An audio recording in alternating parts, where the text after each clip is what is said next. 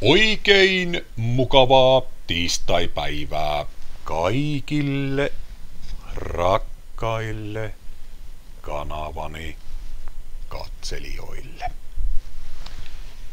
Joulu meni erittäin hyvin. Tuli syötyä ehkäpä enemmän kuin olisi pitänytkään. Kinkkua, kraavilohta, kylmäsavulohta, savujuustoa, rosollia, laatikoita, perunaa, jne, jne, jne.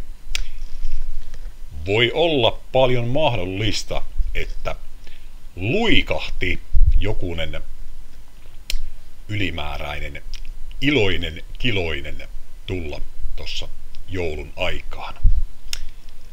Muitakin iloisia kiloisia tuli kuin pelkästään pimpelipompeleista. No, on kerran vuoteen joulu, niin eihän se nyt niin vakavaa ole, jos vähän enemmänkin syö.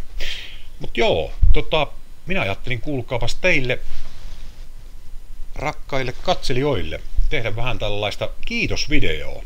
Mulla on ollut YouTube-kanava vuodesta 2007 nyt on vielä toistaiseksi 2022, niin mun laskujen mukaan se tekee 15 vuotta. Pitkä aika, paljon videoita on tullut väännettyä. Mulla on varmaan joku 5 5500 videoa tehty YouTubeen. Ja kanavan näyttökerrat taitaa olla 9,2 miljoonaa. Että tota, on niitä tullut pyöriteltyä minä en osaa sitä sydänhommelia tehdä käsillä, niin, niin siitä syystä pääni yläpuolella on sydän. Teille jokaiselle. Iso kiitos. Tämä nyt ei tarkoita sitä, että minä olisin lopettamassa videoiden tekemistä. Ei todellakaan, mutta ajattelinpa tehdä tällaisen kiitosvideon kumminkin. Et jatkossa mä teen videoita silleen vähän